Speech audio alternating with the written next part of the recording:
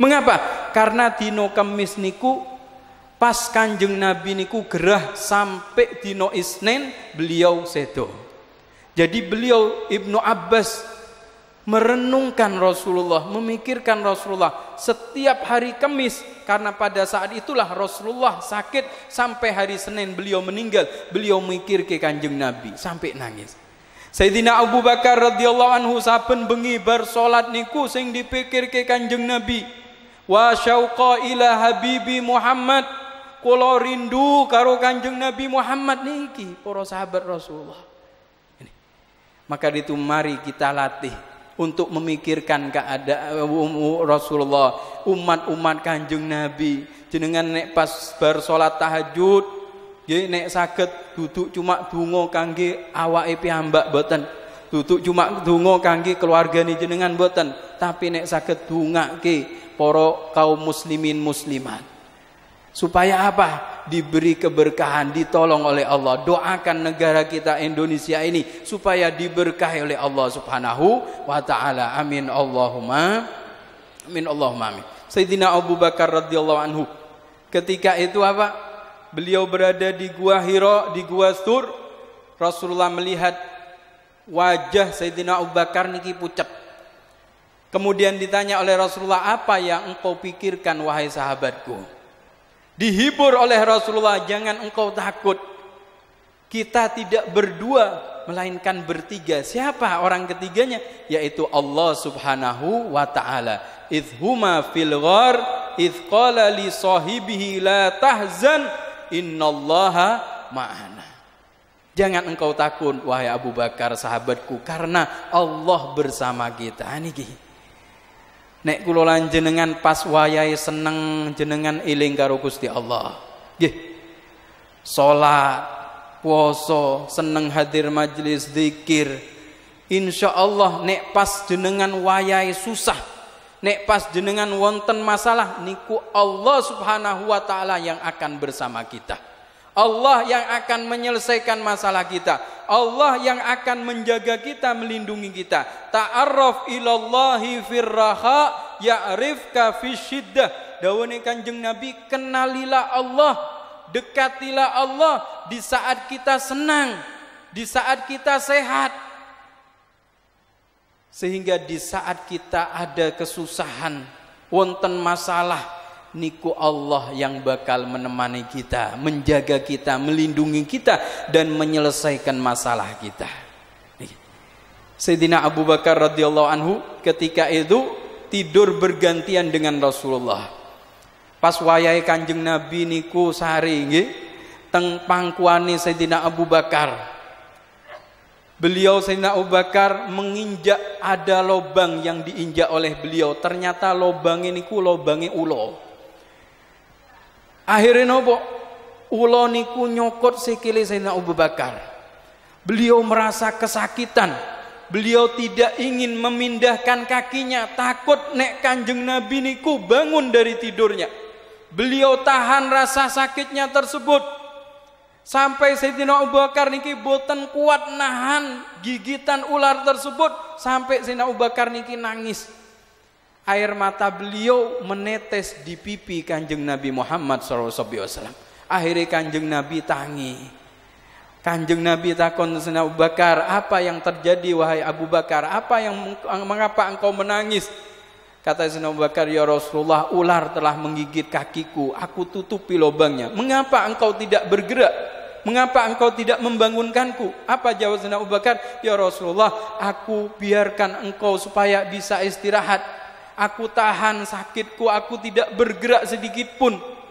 Kakiku tidak aku gerakkan karena aku takut engkau bangun ya Rasulullah. Ini bagaimana cintanya Sayyidina Abu Bakar kepada kanjeng Nabi Muhammad SAW. Sampai dicokot uloniku ditahan.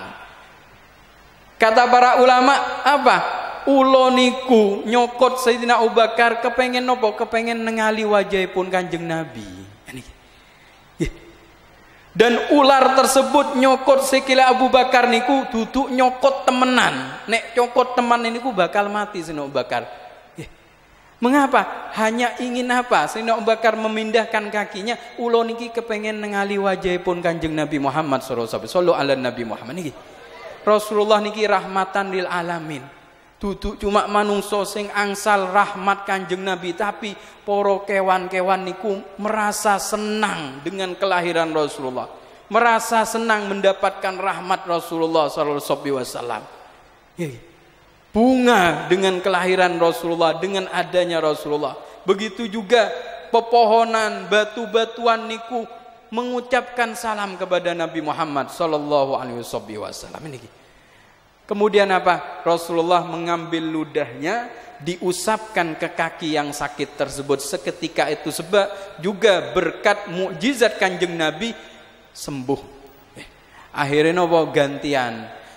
Setelah uh, uh, Rasulullah tidur, kemudian Sayyidina Abu Bakar yang tidur, dijaga oleh Allah sampai hijrah teng Madinah disambut orang-orang ahli Madinah dengan sambutan sing luar biasa.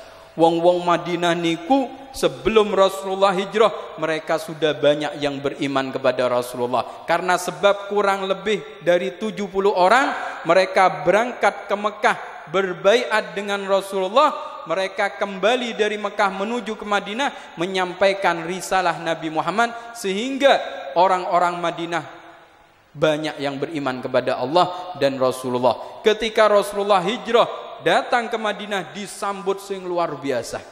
Tala'al badru alaina min thaniyatil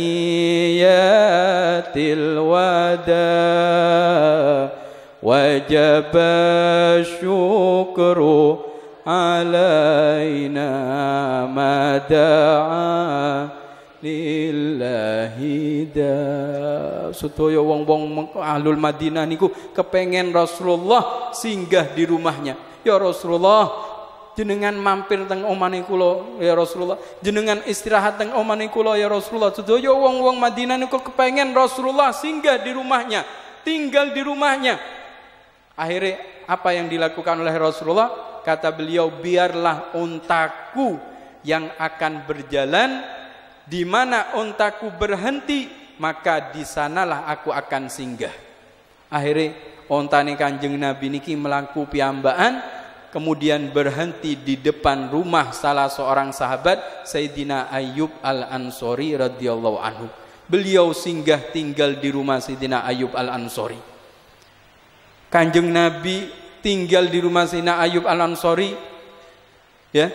Beliau tidak semeta-meta tidak kepengen kamari sing paling apik boten tidak ingin merepotkan tuan rumah. Kanjeng nabi milih di tempat yang terbawah daripada di atas. Padahal sing inggil niku kamari niku luwe sae. Tapi kanjeng nabi memilih yang bawah.